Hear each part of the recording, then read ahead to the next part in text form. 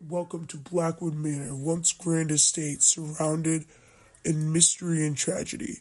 Built in the late 1800s, the manor was a home of magical Lord Edward Blackwood and his family, known for their lavishing parties and fancy lifestyle. The Blackwoods seemed to have it all until a series of unexplained disappearances cast a dark shadow over the estate. Rumors spread in the manor was cursed. Guests began vanishing during grand events, and the whisper of strange noises and ghostly appearances filled the air. Desperate to escape the growing fear, the Blackwoods left the manor, leaving it abandoned for decades.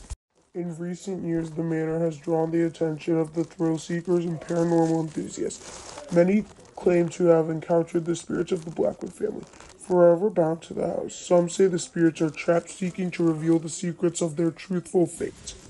You and your team of investigators have decided to uncover the truth behind the manor haunting.